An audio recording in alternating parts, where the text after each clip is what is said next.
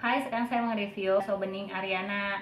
Jadi saya pesan yang mie yamin pakai bakso. Harganya itu Rp16.000. Jadi letaknya itu ada di depan Pok Kajang yang ada di Jalan Pajajaran Bogor.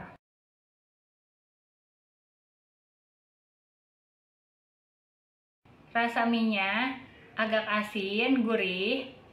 Baksonya jadi kita dapat dua macam ya ada yang bakso urat ada juga yang bakso halus untuk bakso uratnya tekstur bakso uratnya itu halus. Jadi dia nggak ada yang keras. Enak. Rasanya asin gurih.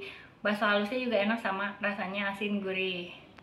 Kalau untuk pangsitnya dia nggak ada rasa ya. Hanya crunchy aja. Tapi kalau dimakan pakai mie nya enak. Nanti kalau misalkan kamu nyobain kamu bisa coba datang ke sana.